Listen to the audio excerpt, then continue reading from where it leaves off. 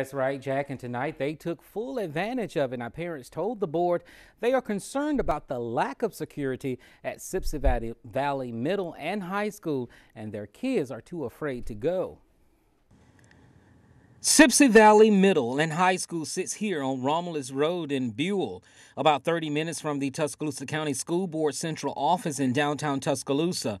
And that's a big issue for one group of parents. They're concerned about the response time to the school in case of a threat think it's a very big concern there because you know it's going to take police 30 to 45 minutes to respond to our students if something was to happen. You know, when we're a large county, that is a concern, and uh, but funding is always an issue. Those type things, we think we've got some good, solid security measures in place.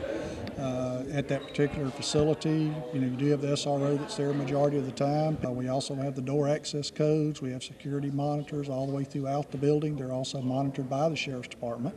Another concern is communication, especially between the school and parents. Amber Smith says it shouldn't matter what the issue is. Parents should always be notified.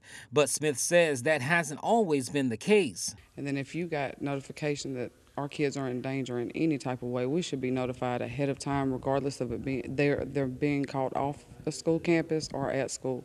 It's something that every parent should know.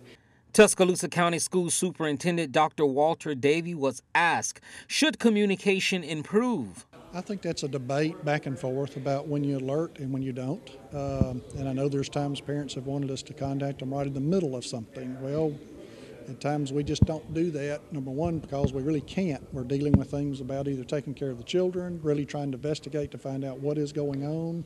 Dr. Davie says when there is an imminent threat, parents aren't alerted. He says next school year, he doesn't see any drastic changes in their procedures.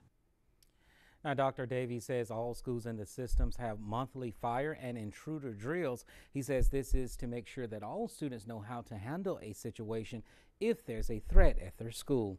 Reporting live tonight, Jabari Pruitt, WVUA 23 News.